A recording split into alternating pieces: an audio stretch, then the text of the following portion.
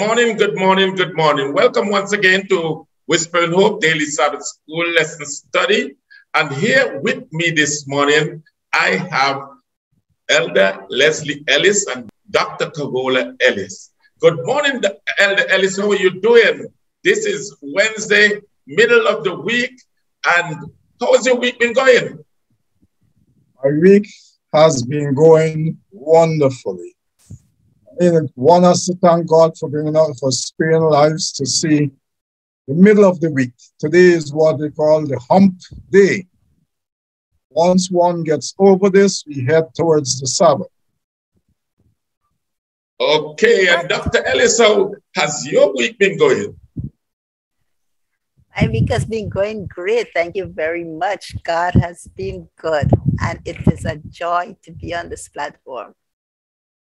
Okay, so we're studying this week extreme heat. Extreme heat. And our study for today is surviving through hope. Surviving through hope. But before we go into our lesson this morning, we're going to invite Elder Ellis to pray for us and Dr. Ellis to read for us our memory text for this week. I'll pray. Father in heaven, once again, we want to thank you for waking us up this morning, this wonderful Wednesday morning, so that we can give you praise and thanks. Lord, this is a present, this is a gift, so that we could have gotten up, being aroused by you. We pray now that as we go into the study of your word, that your Holy Spirit will inspire our mind and that you will help us to rightly divide the word of truth. We are studying a very, very important topic. And oh God, grant that each of us will be blessed and may we glean something from this lesson that will help us to build better characters in Jesus' name. Amen. And our memory text says, Yet it pleased the Lord to bruise him he has put him to grief. When you make his soul an offering for sin, he shall see his seed, he shall prolong his day, and the pleasure of the Lord shall prosper in his hand. Isaiah 53 10 from the New King James Version.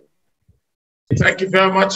Just before we go into a lesson, I'm trying now to incorporate some of the comments our followers or viewers leave behind after your presentations. And so at your last presentation, we are looking at the enduring legacy.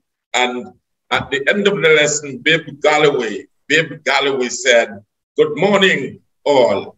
Thank you all for your everyday glorious explanation of the daily Sabbath school lesson. God bless you. And then Barbara Buckley had this to say yes, God always makes a way through our crucible and guides us our steps in thorns in our flesh.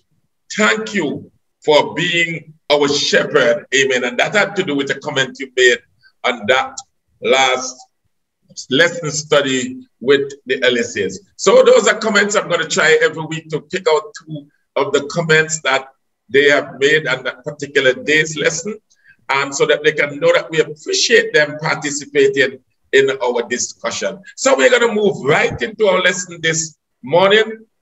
And Elder Ellis, I'm starting with you today, and we're looking at we were under great pressure far beyond our ability to endure, so that we despaired of life itself. Indeed, we felt we had received the sentence of death. But this happened that we may not rely on ourselves, but on God who raises the dead. And that is taken from Second Corinthians chapter 1, and it's verses 8 and 9, and I've read from the New International Version. Elder Ellis, what is Paul communicating here to us? We were all under great pressure, far beyond our ability. to endure. Didn't God say that He's not going to give us more than we can bear? That's true. God said that He wouldn't give us more than we can bear. But the Apostle Paul, who is a soldier of the cross, a champion in ministry and everything, one who has written so much in the New Testament, Paul is saying, through some of the struggles he went through, he's writing here, we were under great pressure. Can you imagine Paul saying that? Who is supposed to be a mature Christian? It just goes to show that regardless of the level of our maturity, we are human. And the devil, as we studied two uh, weeks back, one of the crucibles or, or one of the four crucibles mentioned there was a crucible of Satan. Satan is out to pressure God's people, to pressure Christians. And even, the, well, Jesus went through pressure. And so followers of Jesus will go through that. So Paul is saying we were under great pressure. One Bible, the Holman Christian Standard Bible says we were overwhelmed far beyond our ability to endure so that we despaired. I checked that word despaired. And that word despaired say utter loss of hope. Can you imagine that? And we are studying here uh, today. The theme is surviving through hope. Yet Paul is saying here that they suffer utter loss of hope of life itself. Indeed, we felt, and that word felt, it just goes to show we can't trust our feelings. We can't trust our perception. Indeed, we felt we had received, as it were, the death sentence. But then he goes on to say, but this happened that we might not rely on ourselves, but on God who raises the dead. After going through all this pressure and so on, Paul's conclusion in verse 9 was that this was done for our good, so that we would not rely on ourselves, but we would see that our perception could be wrong, our feelings could be wrong. We need to put our trust in God, not in feelings not in perception. Dr. Ellis, why, again, the question, we are under pressure. And it, it takes me back to a previous lesson that we studied that Job, God said he was perfect before him. We are tried, we are under pressure, but it's not to make us, let us say, in Paul's situation, it wasn't to make him perfect because God said he was upright. He was boasting about him. Then why still do we go through pressure? It seems to be suggesting here that we may not rely on our own selves. What does that say? Actually, it is interesting that Paul made himself so vulnerable. And I appreciated the way he exposed his vulnerability and his depression, as I will call it, because when he considered the church in Corinth, and believe it or not, as gospel worker, I understand what Paul was going through. I mean, the church in Corinth was really going through some very up and down spiritual experience. And he was here, more or less, writing to them an epistle of reconciliation. So he had to expose himself. And he let them understand look, this is not an easy journey. We have been pressured so severely that at times we were so sure we would not have made it, but we relied upon the Lord Jesus Christ. And in another part, he said, and your prayers kept on comforting us. So Paul was really a person who was not afraid to say, I am human I feel very, very insecure and unsure at a particular time, but I rely on God because there was no other way, there was no hope. And I like the fact that God brings us to the place where our backs are against the wall because most of us like to have a backup plan, plan B. And uh, we know plan B is not as strong as plan A, but at least we have plan B. So God has a way of eroding all those plans that our only plan is by faith in the Lord Jesus Christ. And Paul is saying here, we did not think we were going to make it. We felt we were not going to make it, but we li- relied on the Lord and He Himself brought us through. So it is beautiful to know that he is human. It is beautiful to know that as strong as he was, as fervent as he was, he was like all of us, experienced times of real severe crucible. And he depended on the Lord Jesus Christ. We're going to take a break right now. And when we come back, we're going to dig deeper and we are going to look at Paul a little more and what he states about the reason for receiving God's compassion and comfort. Keep you near the cross, and may your troubles show that you need God, and may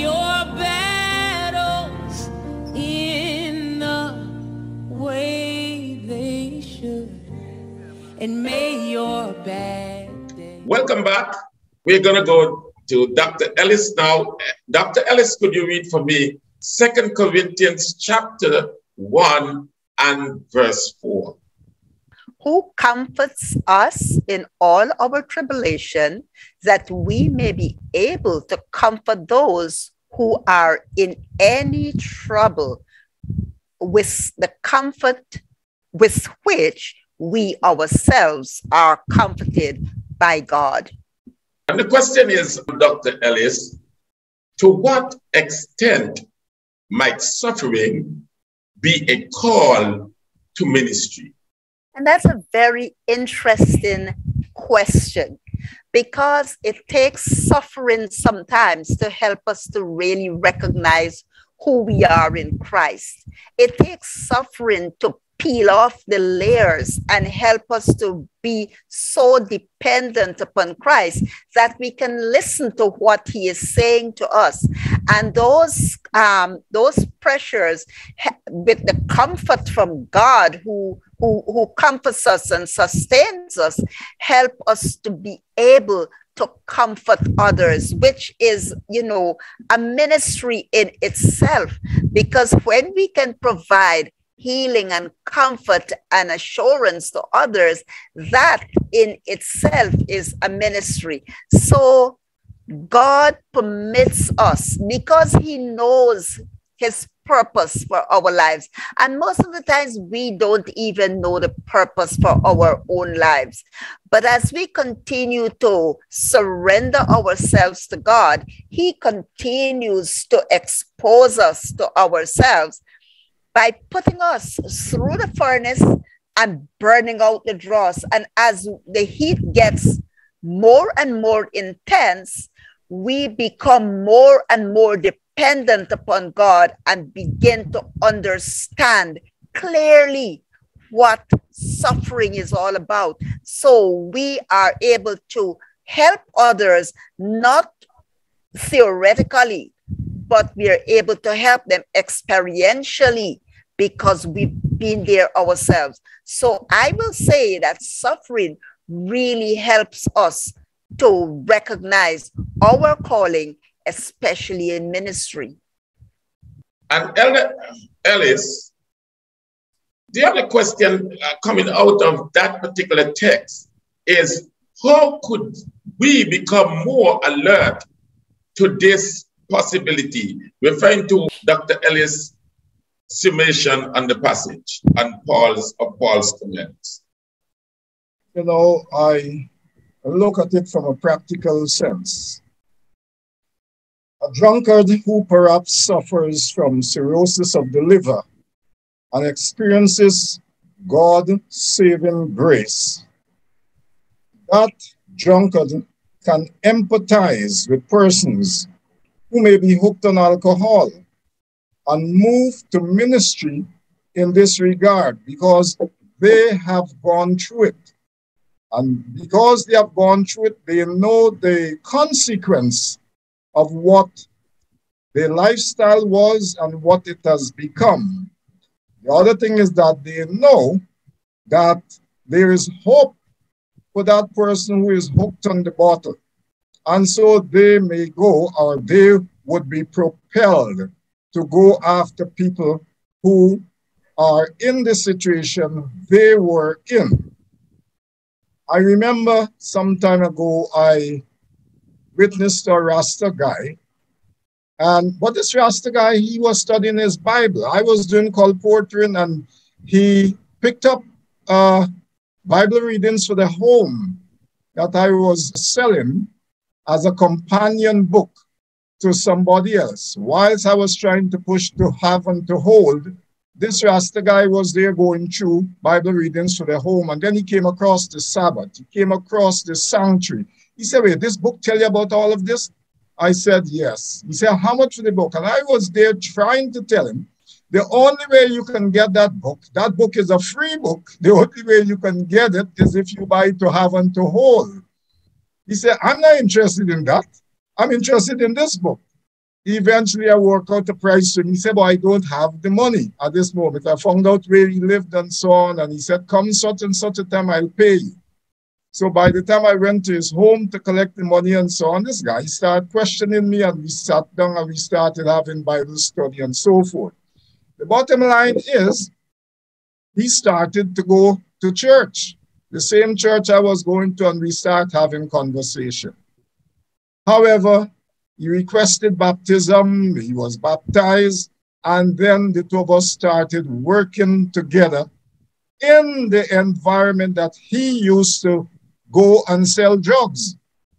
So when we went there, what you found was that people, when they looked through the window and they saw us together, they took me for a policeman. I used to dress and cut my hair in such a way they thought I was a policeman. and so they would slam their door and thought that this guy had turned informer, and uh, an informant now. No, he wasn't an informer. So he would tell me, look, look, look, I've changed my lifestyle and so on. This brother here, we are working together because I have realized where I've come from and I want to see other people saved. Cut a long story short, this guy started holding lay crusades. We migrated, we left him. When we went back, we saw after a few years, his name was there as one of the persons who became first elder of the church.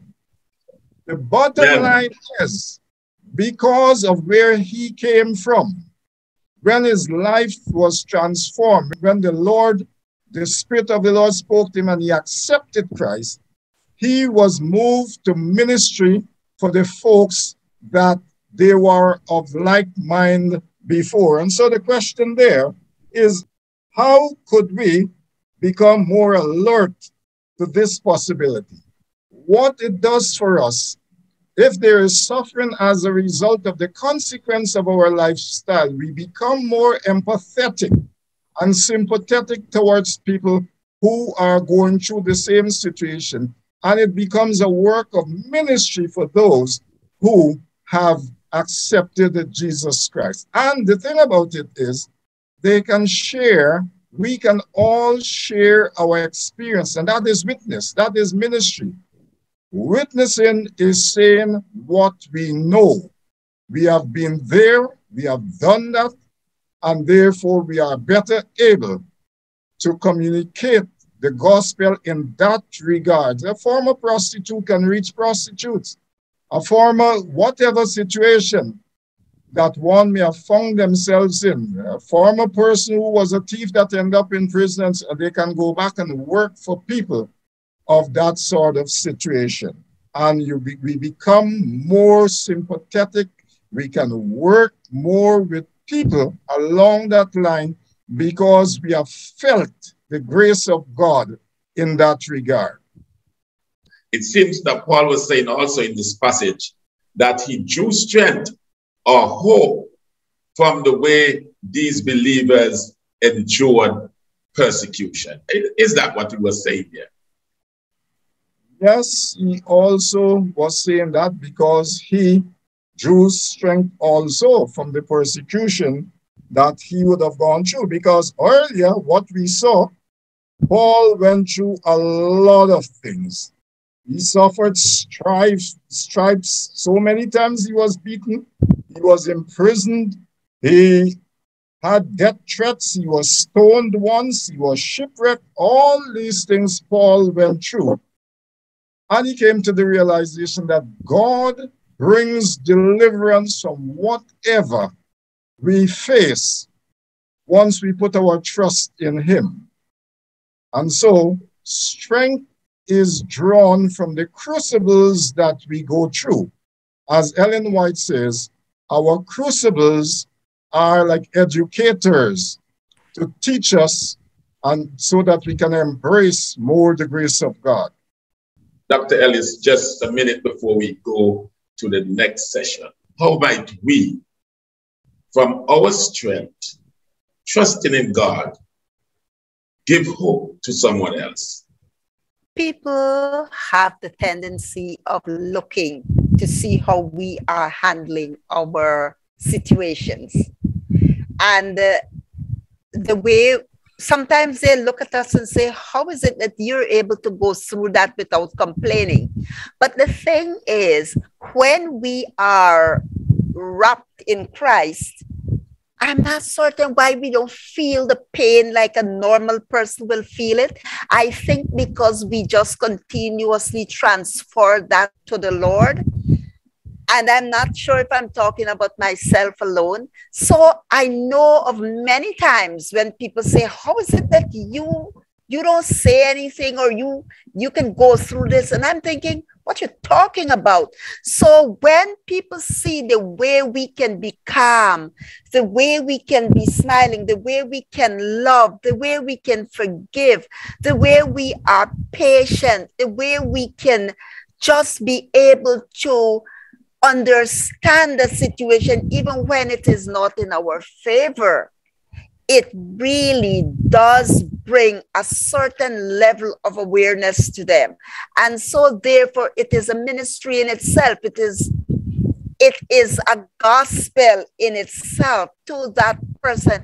And they yearn to know the god we serve or to know the, the, the method or what principle or what is the secret that we are using that we can be this way, whether it's in pain, whether it's in is losing a job, whether it's in any situation.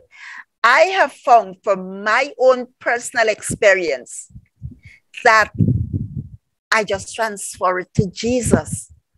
And sometimes I feel kind of funny to say it, but it is true. I am able to forgive, to love, to understand, to go to go on, to bear pain, to to not complain much because I know there is a reason. I know that God has a reason for it. I know that He is going to bring me through. And when I read of Paul, it is with such assurance. Paul, beyond the shadow of a doubt, even when he thought he would die, it's okay because he will be dying in Christ. But he knows that God is going to work his purpose out however he cares to work it out. So we ought to be so comfortable in the Lord that however he wants to work it out, he works it out. But what we must be sure of is that we are dependent on him and we are representing him. And I think people cannot help to see and to admire and to want to know the God we serve. As a matter of fact, it is very easy to speak to people because our lives are such examples. So it brings them reassurance and comfort. So that has brought us to the end of our second session. We are going to move right into our personal reflection and life application section when we get back. Many tears and sorrows, had questions for tomorrow. There have been times I didn't know right from wrong. But in every situation, God gave blessed consolation that my trials come to only make me. Welcome back to our final session of personal reflection and life application. And Elder Ellis, I'm going to go first with you, and Dr. Ellis will close off this morning. The question to both of you is what can you learn from Paul that can help you keep from falling into self pity amid your own struggles? Lessons I have learned or I can learn from Paul. I think Paul brought it down into like three areas in the study here. And I like those areas. One area is that, and Mrs. White has said it also, that I have nothing to fear except I forget the way God has led, the way God has delivered me in the past. In fact, the lesson says, and that's one of the areas that Paul had confidence in. God has a proven track record. God has delivered me in the past, and so I have gained a level of maturity from his past deliverance to know that he has done it then, he will do it now, and he will do it again, bring deliverance. That's one area. The other area is perseverance or determination. In other words, I must be steadfast in clinging to Jesus Christ. From that comes my rock and my salvation. It comes my, my strength. And you know, Paul also made reference to the prayers of the brethren. So we can look at this thing from a port, I can look at it from a personal way where I bear certain things and take it to Jesus. But even though there is personal devotion, there is also a corporate devotion that is very, very important. There are certain things that we need to share and ask for support Ask for the prayers of those that we love. Ask for the prayers of the brethren so that we also can be strengthened. I have learned that from Paul. And if Paul could have given credence to the prayers of the brethren, I think I can learn that lesson also. Thank you, Elder Ellis, for a contribution to this week's lesson. Dr. Ellis, your response to this question this morning. I want to agree with Elder Ellis. And I mean, when Paul talking about the track record, is a proven track record through the patriots and the prophets and Jesus Christ himself, how he has always delivered. He has never failed to deliver. And when we look at Paul's fix his, his, his determination, he fixes concentration. Paul was a preacher of the gospel and he did not feel anything save for the saving of the church, the protection of the church, even though there were many churches, I mean, small home cells. Paul wrote to them as though it was one church. He was concerned about the church, and then he was concerned about the intercessory prayer. He really loved it. So I am a woman that I love to fast a lot. Nobody knows about it because I just do it. And because our lives are so busy around this place, nobody knows when you eat and when you don't eat. So I, I really like to spend some personal time with the Lord. And I know that sometimes to intercede for others we really have to spend some time emptying ourselves so that we can truly give it all to Christ, that He can work on our behalf. But it just goes to show, even though the world is so large, people from any part of the globe can be praying for us and God responds to their prayer. It's like if we can say, okay, fine, God can respond to as if he doesn't know what's going on. But he does really appreciate or respect or, or rewards our faithfulness as we pray for others. So I personally would love to know that we can continue to pray for others. We can write their names down on, on a list. We can pray for them day by day by day and watch God work in their lives. Sometimes we just pray at random, God bless everyone in the community and all of that. We don't know what those results are. But when we look at them, and Paul was able to say, Thank you for your prayer, it added comfort to me. So we should also recognize when people are praying for us and and acknowledge the, the results of those prayers in our lives. So I thank God for the life of Paul, and I thank God for the way he made himself vulnerable so that we can relate to his experience. So I want to thank Dr. Ellis and Elder Ellis for so comprehensively bringing the truths out of today's lesson. And so I pray that you were blessed.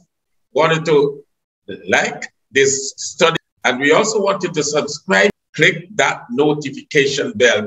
So God bless you. Have a wonderful day.